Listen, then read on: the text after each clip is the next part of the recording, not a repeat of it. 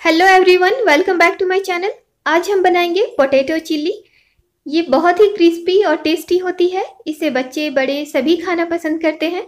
तो चलिए इसे बनाना शुरू करते हैं. सबसे पहले बड़े वाले आलू लेंगे. उसे पील ऑफ़ करके धो लेंगे और उसे इस तरीके से काटेंगे.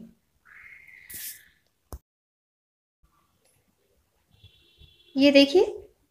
फिंगर चिप्स की तरह ही इसे काटना है।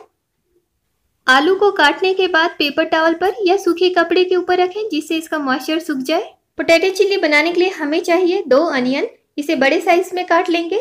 दो शिमला मिर्च, एक गाजर जिंजर गार्लिक बारीक कटा हुआ और एक टमाटर। ये ऑप्शनल है, आप चाहे तो स्किप कर सकते हैं। आलू को काटने के बाद इसे पेपर टॉवल पर या कपड़े के ऊपर रखकर इसका मॉइस्चर हटा दें। ये देखिए मॉइस्चर हट चुका है इसमें से। अब इसमें डालेंगे मैदा, दो चम्मच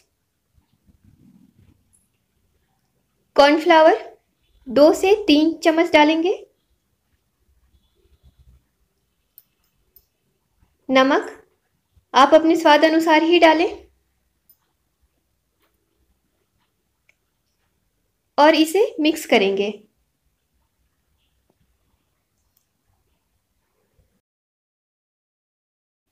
आप आलू को इस तरीके से टॉस भी कर सकते हैं, जिससे मैदा और कॉर्नफ्लावर आलू में अच्छी तरीके से कोट हो जाएँगे।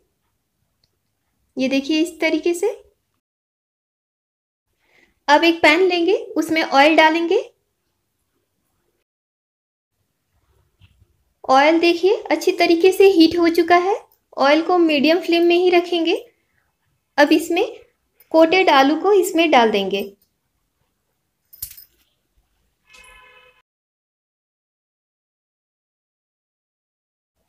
आलू को हमें मीडियम फ्लेम पर ही फ्राई करना है और इसे लाइट फ्राई करेंगे डीप फ्राई नहीं करेंगे। कंटिन्यूस स्टर करना है। ये देखिए इस तरीके से हमें लाइट फ्राई करना है। इसे प्लेट में निकाल लेंगे।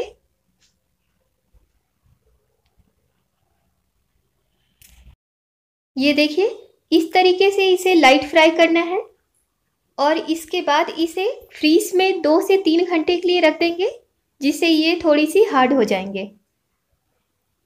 अब सॉस बनाने के लिए एक पैन में ऑयल डालेंगे, दो से तीन चम्मच।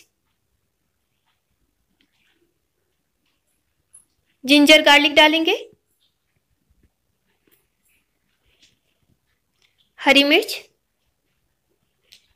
इसे लाइट फ्राई करेंगे।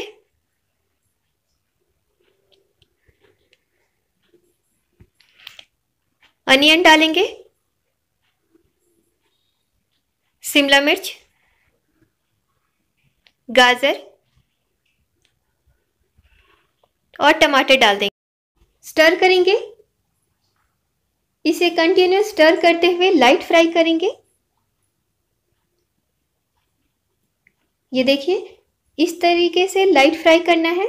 अब इसमें वेनेगर डालेंगे एक चम्मच सोया सॉस दो चम्मच डालेंगे, टमाटर सॉस दो चम्मच।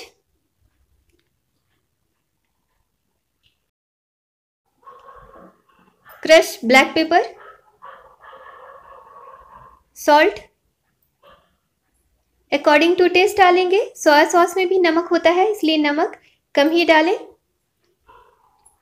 चीनी थोड़ी सी डालेंगे।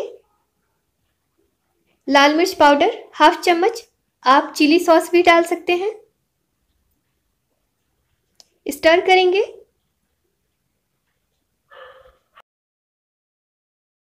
अब इसमें दो चम्मच कॉर्नफ्लावर को पानी में मिक्स करके डालेंगे।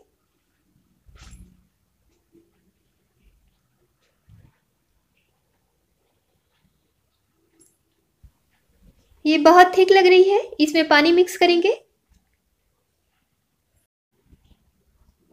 इसे बॉईल होने देंगे। ये देखिए बॉईल होने लगा है। गैस को ऑफ़ कर देंगे। अब आलू को हमें फिर से फ्राई करना है। इसलिए ऑयल लेंगे एक पैन में और इसमें आलू को डालेंगे। इसे हाई फ्लेम पर फ्राई करेंगे। इसे डीप फ्राई करना है। ये देखिए डीप फ्राई हो चुके हैं, इसे एक प्लेट में निकाल लेंगे। इसी तरीके से सभी आलू को फ्राई कर लेना है। अब सॉस को फिर से गर्म करेंगे। और इसमें फ्राई किया हुआ आलू को डाल देंगे। इसे मिक्स करेंगे।